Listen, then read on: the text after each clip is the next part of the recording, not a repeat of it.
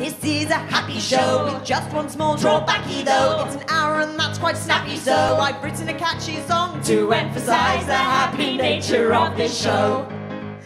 I've learnt my lines, I've built the set, I've practiced all my singing high and low. Whoa. Yes, I've got a clear objective to create a happy feeling in you, so I make a really cheerful, optimistic, effervescent, super happy show. Okay, confession time, it is about depression.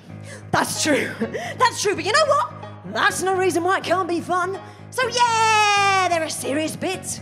Like uh, when I realised I was ill, or when I dropped out of college, or when I tried to kill myself. Yeah.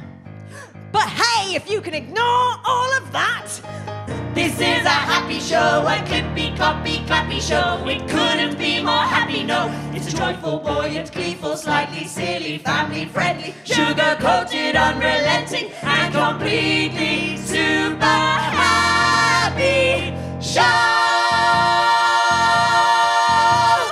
Oh! Except for all the bits about depression.